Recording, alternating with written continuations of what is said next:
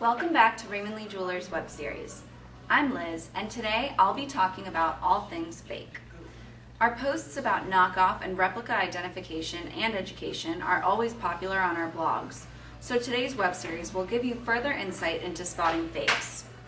First up is the Rolex Milgauss. You may have already seen Raymond Lee Jewelers video on how to spot a fake Rolex, and those principles still apply. You should be on the lookout for inordinately low prices, shady internet sellers with little or no buyer feedback, and stock images of their Rolexes. When it comes to the watch itself, remember to look for the quality craftsmanship of a Rolex. If you see blurry text, uneven lettering or arrangement on the dial, or a shoddy bracelet, you're not looking at a genuine Rolex. If you're in person, hold the watch in your hands. It should be heavy. And another surefire way to spot a fake is to open the watch's case back and look for the Rolex movement that is the hallmark of the finest luxury timepiece. Any seller who refuses to open the case and show you the movement is not someone who you want to be doing business with. The Milgauss itself is one of the easier fakes to spot, especially the Green Crystal 50th Anniversary Edition. The green crystal is actually one of the first ways you can, you can check for authenticity. This fake Milgauss is a relatively good knockoff. But when you examine the crystal closely, you can see that its manufacturer has simply painted a thin green line around the inside of the bezel so it will reflect back on the crystal's edge. From the top, this trick would be passable, especially when on a wearer's wrist. But a genuine Rolex Milgauss green crystal will be green on its inner and outer edge. It will also cast a green glow over the entire dial, but won't appear to be a green cellophane-like reflection like this one. Another key aspect of the Milgauss green crystal is the three orange markers at 3, 6, and 9. These markers should be a light orange, not peach like this fake's, and should never appear faded, dirty, painted on, or labeled on. Additionally, the orange color of the lightning bolt second hand should be a vibrant orange. This fake's coloring comes close, but is obviously off when compared to a Milgauss. Additionally, look out for fakes with the wrong lugs. The Milgauss is curved to wrap around the wrist slightly. These are too pointy. Moreover, the case size itself is off.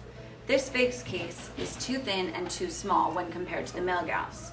And, as is true with most Rolex fakes, the knockoff is entirely too light.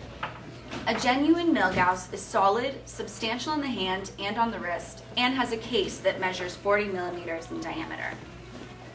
You can watch our video on how to spot a fake Rolex for more tips, but if you ever have any suspicion or sense that something is off when buying a pre-owned Rolex, it probably is. You're better off dealing with a more reputable seller or visiting a jewelry store that is authorized to sell pre-owned Rolexes. Our next fake is another good knockoff, but not good enough. This Hublot Big Bang wannabe was confiscated after an enterprising shady character tried to sell it. At first glance, it passes all of the Big Bang litmus tests. H-shaped screws, steel H on the second hand, and rubber-tipped pushers and crown.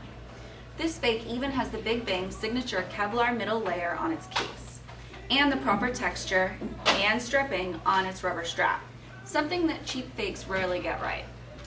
You should look for a dial that isn't checkerboard texture, markers that don't have a vertical groove through the middle, and a ceramic bezel that is too thin and too small to spot a fake Big Bang.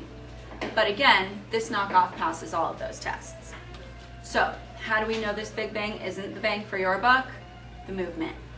All luxury watches are prized for their precise movements, but the Big Bangs is even easier to identify thanks to its skeleton case back. The first giveaway is the Hublot Geneva writing on the movement's rotor. It's too thin, too dark, and imprecise. Note the weird space between the E and the V in Geneva. Additionally, it isn't engraved onto the rotor, as it would be on a genuine Big Bang. The Hublot H logo under the rotor is also too thick and too dark. The next clue on the movement is the shape and size of the rotor's central part. This Bakes is rough and has saw teeth and is too small. The genuine Big Bangs is smooth and has three rings, the smallest around the screw, another small smooth ring, and then the outer ring connected to the rotor. The movement itself is also lacking the fine adjuster, the piece that bridges the gap between these two small cogs. As with all luxury watches, the movement will always give away the fake. This is the biggest reason not to buy a knockoff. Not only are you funding the illegal and often immoral organizations that create these cheap imitations, you're wasting your money. Fake luxury watches aren't inexpensive. For a decent fake, you're likely spending several hundred dollars. However, that chunk of change is buying you an essentially disposable product. When the shoddy fake inevitably stops working properly, there's no guarantee of service, no warranty, and no assurance of repair. There's no one to stand behind the product because it isn't something to be proud of. The pride in manufacturing luxury timepieces accompanies a guarantee of service and of longevity. That's what you're truly paying for when you buy brands like Rolex and Hublot. When it comes to jewelry, however, you're sometimes paying more for a name simply for its cachet. That's not to say that designer jewelry isn't gorgeous or quality craftsmanship. Just the opposite. Raymond Lee Jewelers believes that some designer jewelry is to be treasured and knows that it is inherently more valuable thanks to its luxury brand. This is what makes it even more important that the jewelry you purchase from these designers is the real deal. Unfortunately, for one customer, hers was not. If you're a regular reader of our blog, you'll already know about our customer whose first date led her to believe that he gifted her a genuine Cartier Love charity bracelet. When our customer came in to sell it and found out it was fake, she knew that it, just like her past suitor, wasn't good enough for her and wanted nothing to do with it. Luckily for us and for you, it can now be used as both a cautionary tale and an educational tool. The genuine Cartier Love Charity bracelet is either one white gold miniature love bracelet or is two love bracelets, white gold and pink gold interlocked. The cord should be silk, not cheap looking or feeling, and never frayed. Some slight signs of wear may be visible if you're purchasing pre-owned, but overall the silk should still be in good condition. You'll also notice that the two pink golds, like love bracelets on this fake, are mottled and tarnished looking, and are also the wrong size. The genuine Cartier Love Charity bracelets gold rings are tiny, but surprisingly heavy because they're genuine gold. The rings are also not stamped with Cartier's signature, nor the serial number that would be present on any real Cartier Love Charity bracelet. You can read the post about our fake Love Charity bracelet to learn more about how to spot other signs of fraud on the box and bag, but these tips should help you identify the bracelet itself. The importance of authenticating your pre-owned jewelry can't be emphasized enough. As I mentioned before, when you buy a fake, you're wasting your money.